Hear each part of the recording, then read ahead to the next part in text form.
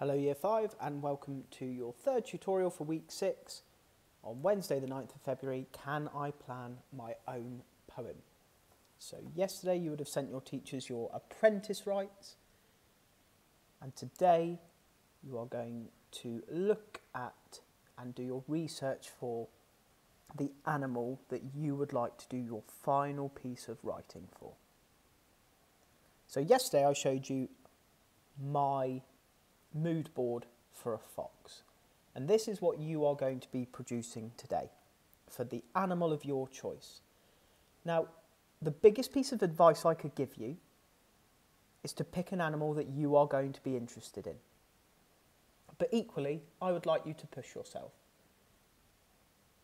I don't want there to be lots of cats and dogs just so you get away with doing a three letter word. If you are doing a three letter word, I would expect really quite lengthy stanzas for your poem. So think, what animal, and quite a lot of these animals have been native to Britain, so that means they're British animals. Or you might want to go further afield and pick a, an African safari animal that interests you. We are leaving the choice of animal up to you but make sure that it is one you're interested in, so you can write well about it, and one that you are not just trying to cut corners and pick because it has a short name. We did the short name ones yesterday to give you a warm up. So how did I go about doing this? Well, what can we see? I can see pictures and I can see words and I can see colours.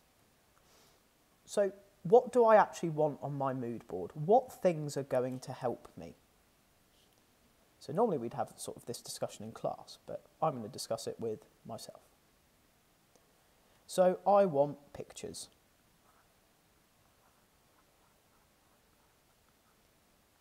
I want pictures of the animal. I want pictures of, I want sort of close-ups. So for the fox, I had close-ups of its teeth, its tail. I also want pictures of it moving because how it moves is a really good way to describe the creature. And if you sort of see a picture of that, or even better, get on YouTube and search a video for it, you can see how it moves and you can use those wonderful adjectives that we have worked on all year. So I want pictures of the animal, close ups, and moving. I want some colours.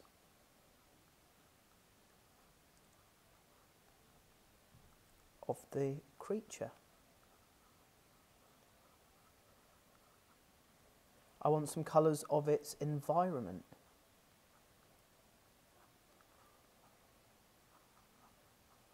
Things around it.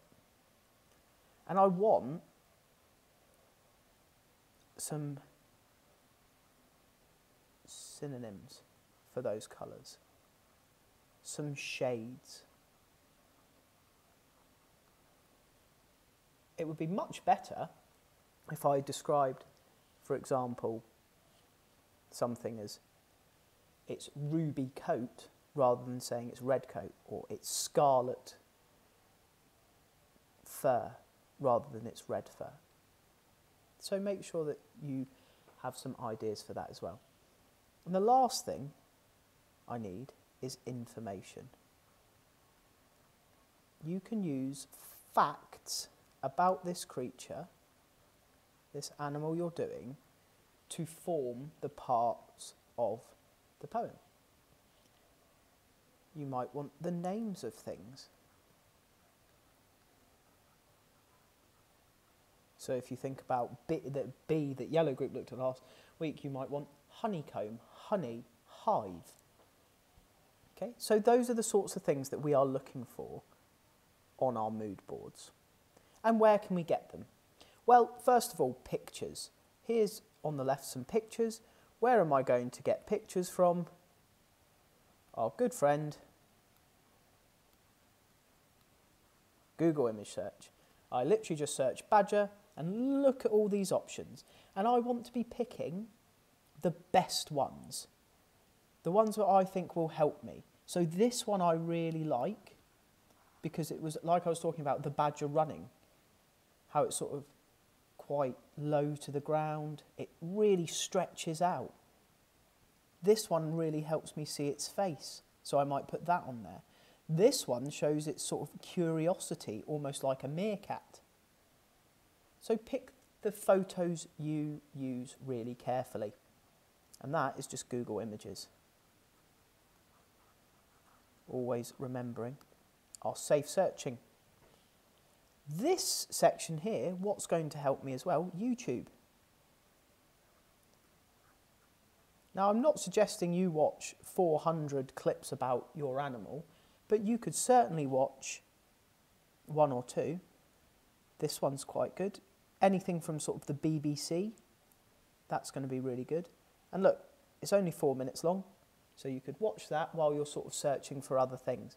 And all you need to do, when the fact comes out, you just need to note it down.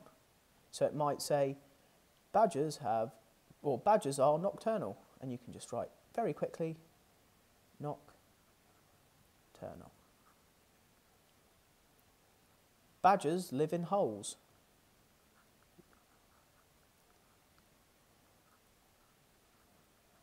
There you go. And then you could use that within your mood board as well. So we've got Google Images, we've got YouTube. What else could we use to help us?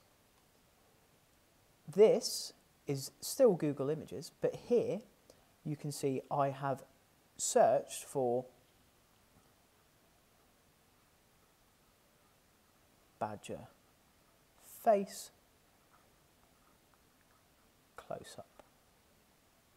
Here I've searched for badger claws.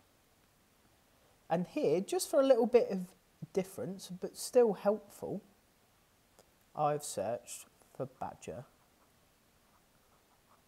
cartoon. And again, it's about picking the things that are going to be helpful. This one, the badger's in the middle of the page, so that's quite helpful to me. This is just the picture of the face, so that's super helpful. Here, the claws. And I've got to be careful because this one says American badger, this one says honey badger, and this one says badger.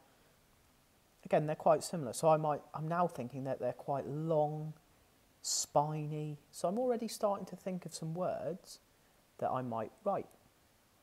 What other sources have we got? Ah, actual information. Badger facts for kids.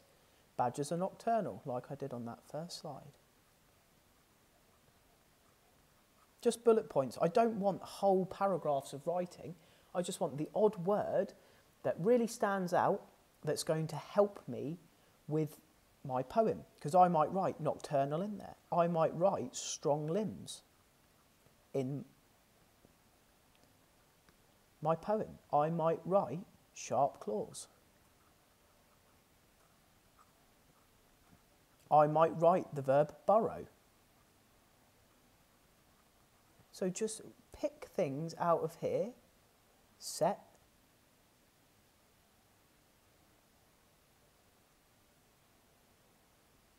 burrows, night and sleep. So the Somerset Wildlife Trust has said that they've make a separate bathroom chamber, but we don't really need to know that. So it's about picking sort of what's useful for us, which is this section here.